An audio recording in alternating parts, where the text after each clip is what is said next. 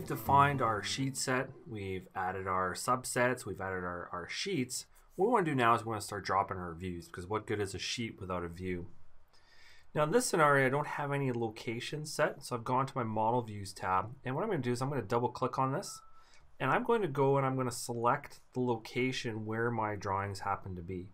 So I'm going to add this folder here and I'm going to click OK. And now we can see that it's added that folder and I can see all the drawings that are contained within that. Now the circle here is because I'm actually using Vault, so I'm actually able to check drawings in and out from this as well. But right now, notice that I'm able to remove the location, add location. If I right click on a drawing specifically, I'm able to go in there and I'm able to open it. I'm able to place it on the sheet and I'm able to see the model space views. So if I take this base part here and I right click and I say see model space views, notice how it expands it out? Well, that's no different than clicking the button to expand there. So if I right click and say see model space views, this one doesn't have any in there. Now, what are these views and how do we use them? Well, if I go to the sheet view list now, I can see the project here and I can see that right now that I don't have any any views. So if I take this view here and I'm going to left click drag and drop and I'm going to insert this into my sheet. Now right now the scale isn't going to work for me. So if I right click, what I see is I see the standard AutoCAD scale list. So I'm going to switch this to 1 to 10. Notice how it changes. We'll right click. Perhaps 1 to 20 would actually be better. So I'll pick 1 to 20. Whoops, and I, I clicked twice there, but let's take this and let's move this. And what it's done now is it's now built that view and located it for me. Now, where is it getting this view from and, and how do we how do we how do we build these? So I'm going to take this base 6 port here and I'm going to right click on it I'm going to open it. So I'm going to open it in its own drawing. And what I want to do is I want to add some views in here that I can use and actually um, add to sheets in my sheet set. So what I'm going to start with is I always do it by typing the command. So I'm actually going to type mview for, um, sorry, I'm going to type view, not mview. I'm going to type view. And with the view, what I'm able to do is I'm able to add model views. So I'm going to click new and I'm going to create a new view here. And I'm going to call this the side view. And the view category here is I'm going to put a new category called ortho. The view type is still because when it comes to sheet sets, we can't have any cinematic or motion type views, so we want still. So since this is sheet sets, we're going with a still view. I'm going to define a window because I don't want the current view. What I'm after is I'm after this view specifically. So that's the view I want, so I'll press enter to accept that. I'm actually going to capture the layer snapshot. So what's turned on or turned off is going to be captured. We'll use the world UCS. I don't have a 3D model, so I'm not going to cut any sections or worry about um, visual styles. And I'm going to click OK to create that view. So next what I'm going to do is I'm going to define a, another view. So let's say new.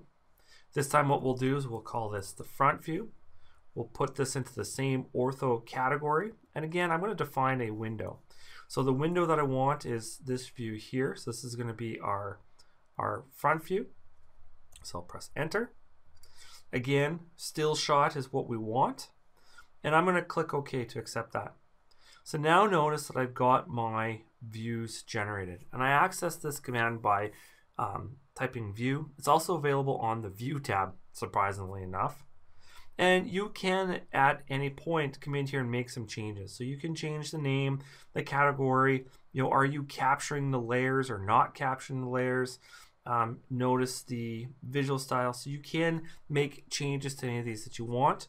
You can also take these and modify the boundaries. So I can do a modify boundary because maybe I wanted this to be a bit tighter to the view. So we'll just make that a bit tighter and I'll press enter to accept that. So it's the view manager that allows you to generate these views. So I'm going to click OK. I'm going to save this. This is just to do with my vault. Don't worry about this. Um, we'll just call this six port. We'll click OK. And I'm going to click the refresh button. We can see it's updating here. And notice that my views now appear. So let's close this drawing and let's go back to this one here. Let's delete this existing viewport. And what I want to do is I want to add this front view. So I'm going to left click, drag and drop, and it's going to start the process. So again, I'm going to right click. I'm going to pick 1 to 20. I'll just take a second to update that. And we can see the preview. And I'm going to click to place that into my view. Now, what has it done here? What has it done really in the process here? The first thing that is done, if we take a look at the XREF manager, it has attached that drawing as an XREF. So in the background, by simply dragging and dropping that, it's actually attached that as an XREF. Now, if I was to go into model space here, notice that it's actually dropped all that geometry in there. Because remember, I, I created um, one from that five port. So that's why we've got the five port in here. Sorry, from the from the four port and then the second one. So in the background in model space, it's actually attaching those as XREFs. Number two, the second thing it's doing is it's cutting a viewport. So if we just do a list on this, we can see that it has created a viewport and it has created one on this layout um, and it's basically used that view to set the size of the viewport. So it, it cut a standard AutoCAD viewport in there and it assigned the scale. So notice that the scale is 1 to 20. Now this is the view label that gets generated automatically. We will in a future video um, go over the process of how to um, build these view labels. So we'll just stick with the defaults for right now. Now once this is created, when I right click on here, I'm not going to see any special options. I'm not going to see any special commands because this is a straight up standard AutoCAD viewport is what it is. So once it's in there, there's no like change scale options or anything like that. My options would be to either reinsert it or just use my standard AutoCAD viewport commands to, to build that. So again, the process of inserting these is you take the view, you drag it and you drop it. You right click to pick the desired scale. And what this does is in the background, it attaches the drawing as an XREF, which in this case the drawing already is. It then generates a viewport using the view as the background to update that. Now, if you were to go in and make changes to that, that drawing, so change layers, remove objects, um, update, add, then obviously it's going to update in here as well because it's relying on XREF. So as I make those changes, that's going to update as well. Now that I've gone through and I've added my views, if I go to the sheet view, notice that the views are listed within here. So what I'm able to do is I'm actually able to display these. So the idea is that it will take me directly to it. So the idea is that it will open the drawing, take me right to the view. So no guesswork where that view is, it'll take you right to it. If I right click in it, I can also rename and renumber. So maybe this was supposed to be C1A. Whoops, spacebar is not going to help me here. Side view, and I will click OK. And what it's done now is now rename that. And if I come back into, into my AutoCAD drawing here, notice that it's updated that as well because it's using a field and the field is linked to that sheet set property.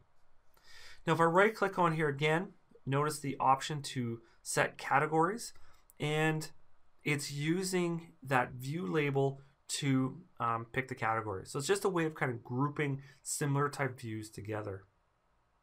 Again, we will talk about the callout blocks and the view, view label blocks at a later time. So the process here really of um, assigning these is you use the model view to first add the location of the drawings. Then you use it to add in these defined model space views. And then you can manage the views from the sheet view tab.